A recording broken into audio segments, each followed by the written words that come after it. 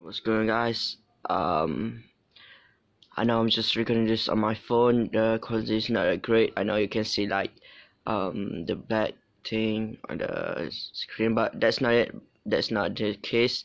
I just want to ask you guys something that um my Epic Games account I can log in to my Epic Games account because um you need to you need the authenticator um security code I guess yep from the authenticator app but um I just deleted the app accidentally and I downloaded it back and I downloaded it but um I don't get the it reset my account so so it doesn't save on the app.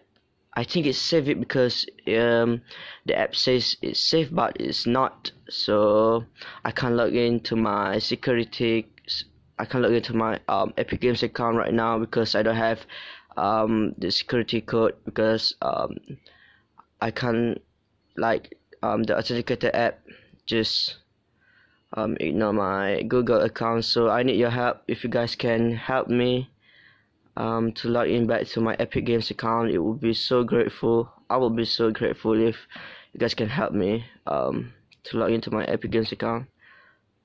Back. Thank you so much